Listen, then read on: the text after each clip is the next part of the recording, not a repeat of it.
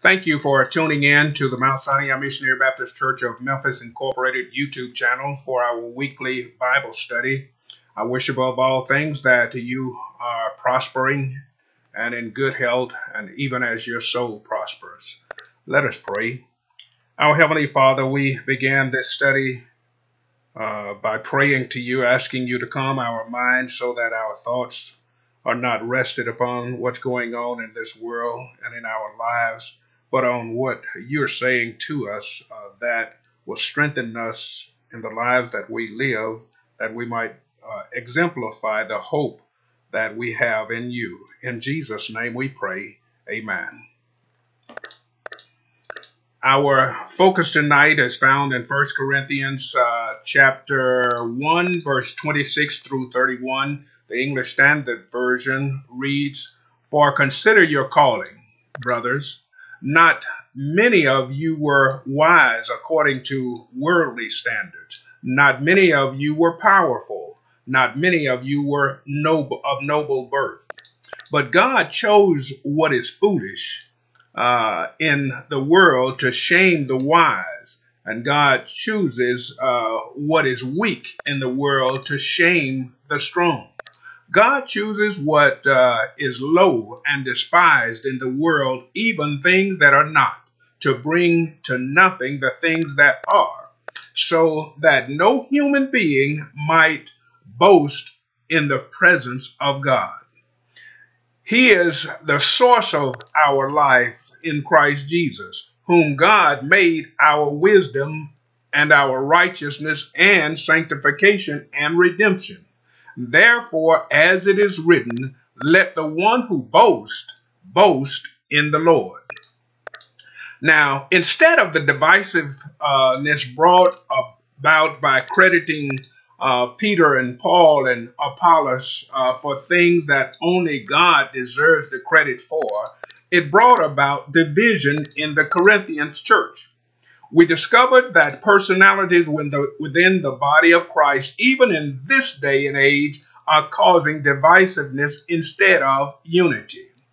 It should be understood that this type of divisiveness is useful, usually kept quiet and out of the public view.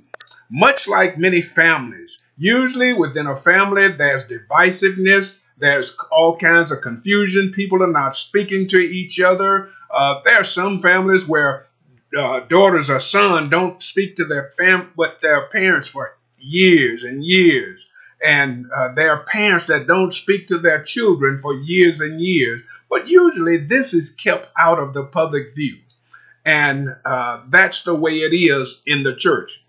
It's important for us to remember that as the body of Christ, that we are called to glorify God and not personalities or individuals in the church.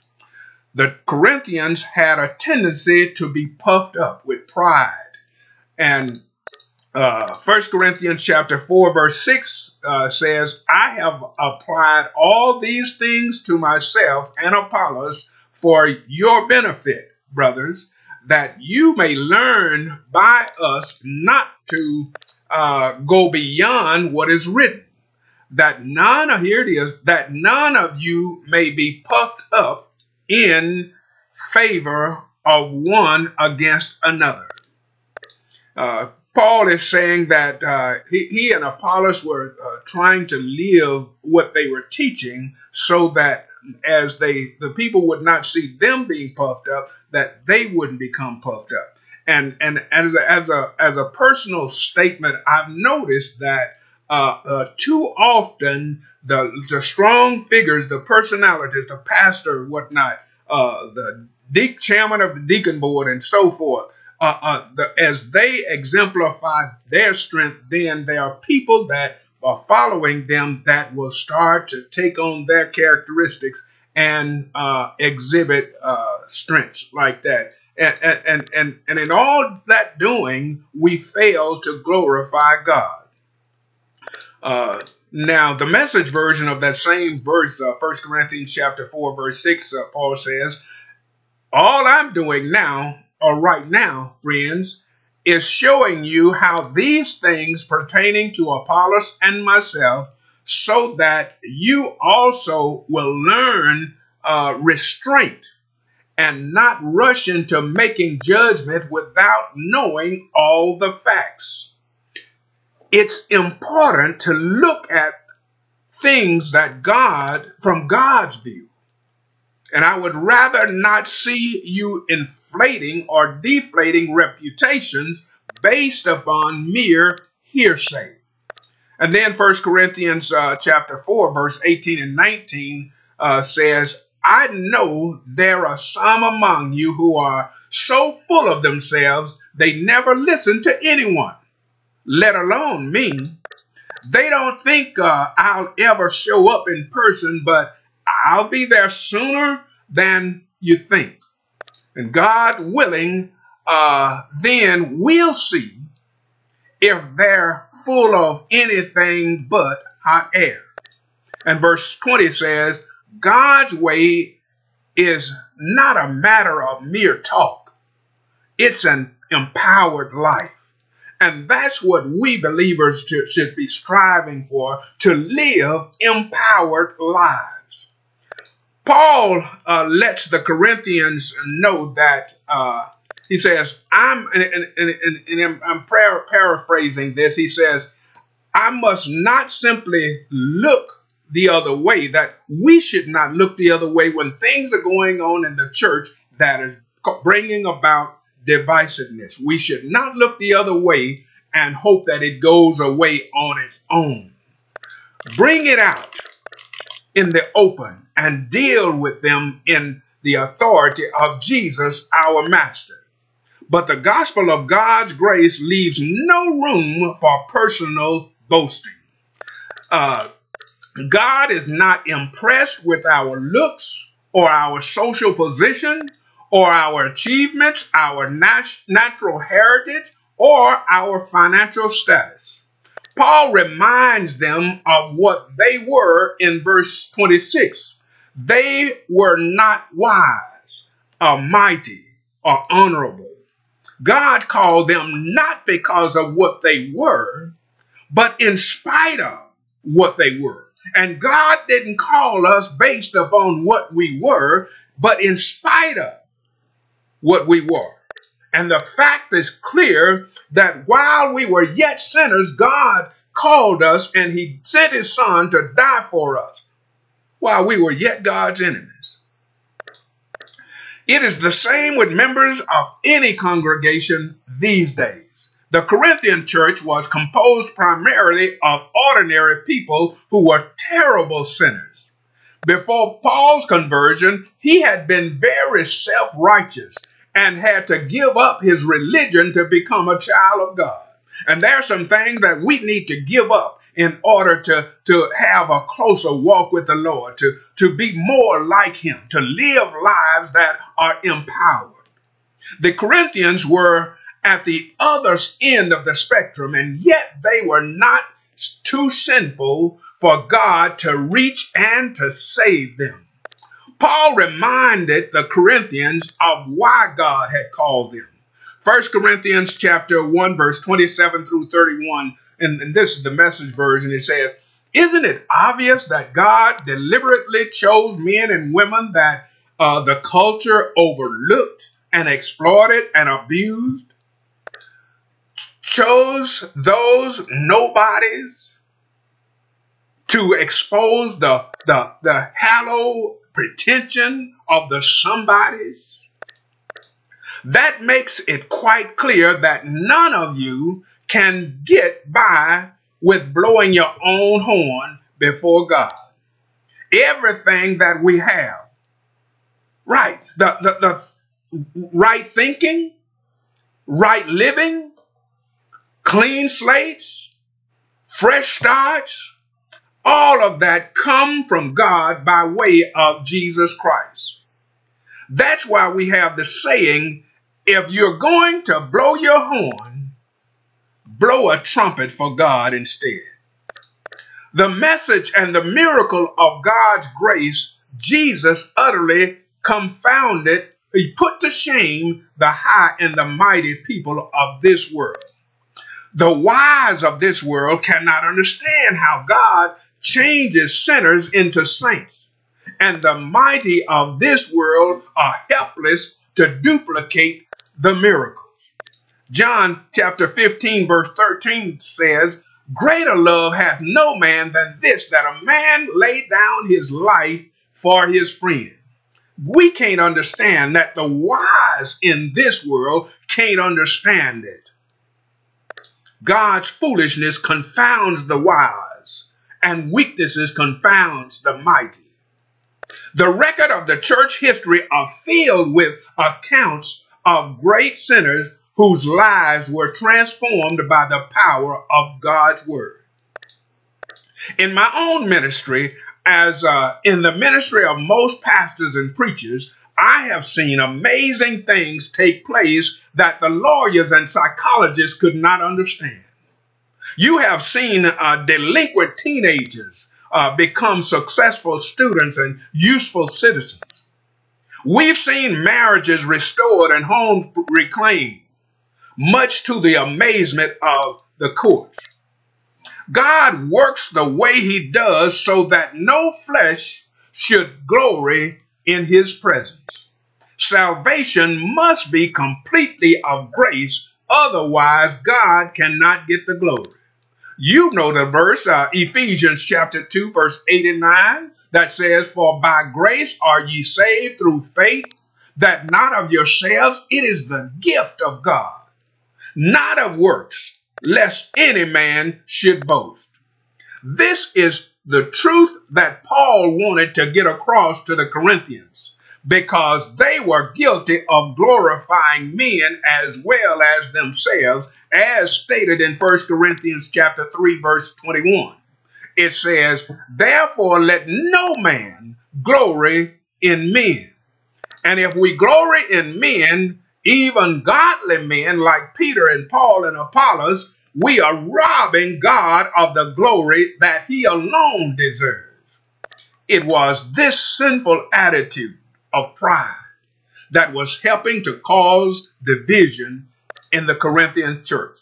And finally, Paul reminds the Corinthians of all that they had in Jesus Christ in verse 30 through 31 of the first chapter uh, of First Corinthians. Verse 30 says, He is the source of your life in Christ Jesus, whom God made our wisdom, our righteousness, our sanctification, and redemption. All of that we have in Jesus Christ. And verse 31 says, Therefore, as it is written, let no one boast, or let no one who boast, boast in the Lord instead. And since every believer is in Christ and has all that he needs, why compete with each other or compare ourselves to each other? It is the Lord who has done it all.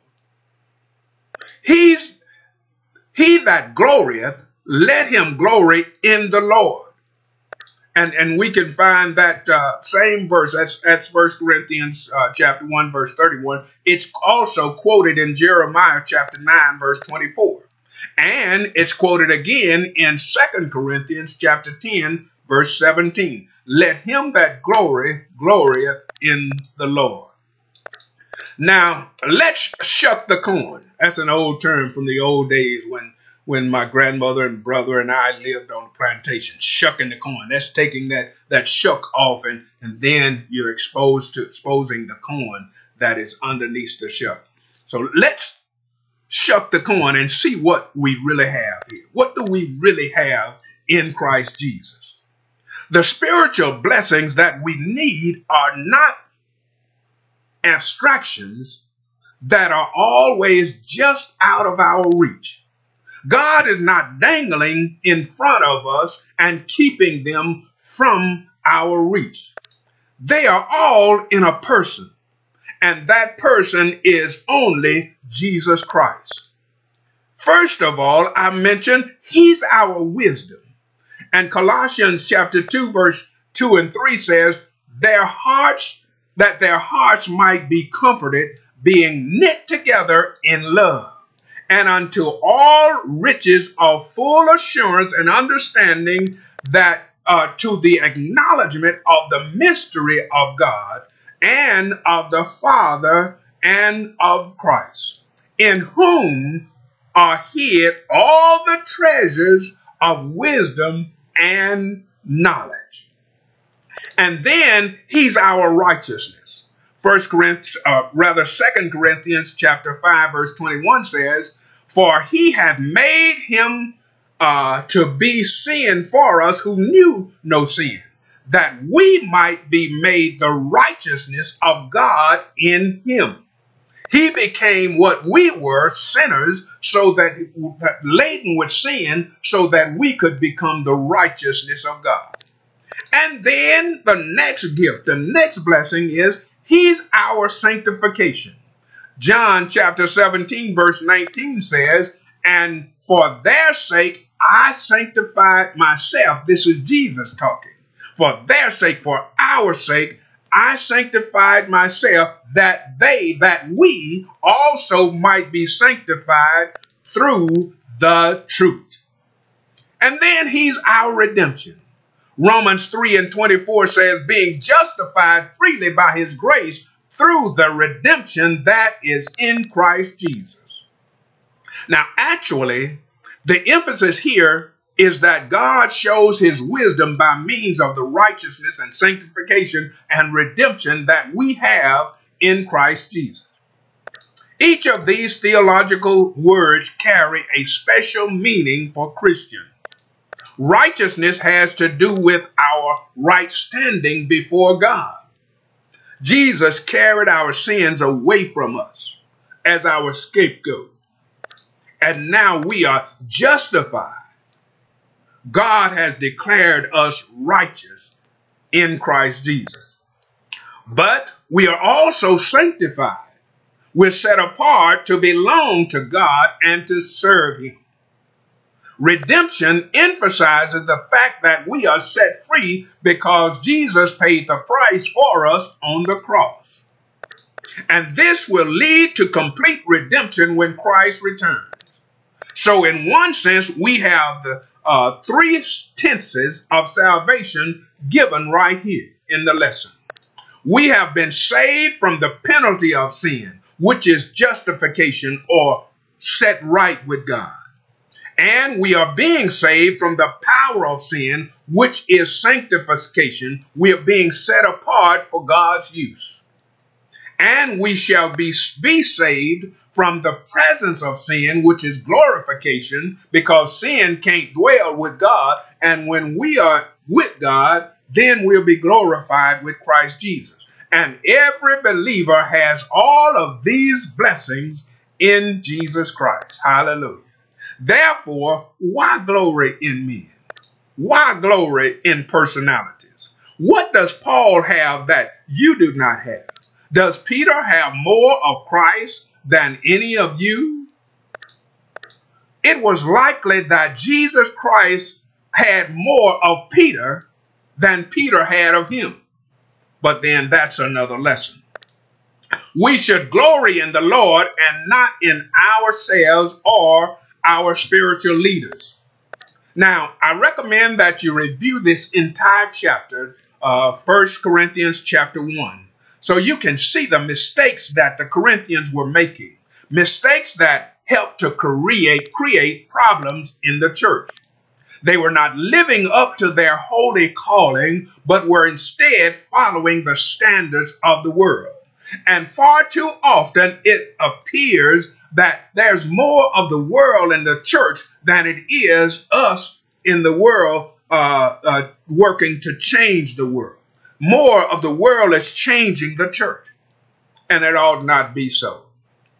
The church at Corinth ignored, ignored the fact that they were called into a wonderful spiritual fellowship with the Lord and with each other but instead they identified with human leaders.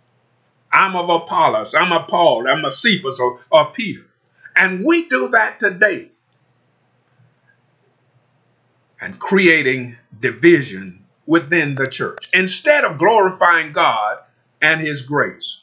They were pleasing themselves and boasting about men. They were a defiled church, a divided church, and a disgraced church. But before we pass judgment on them, we should examine our own church and our own lives.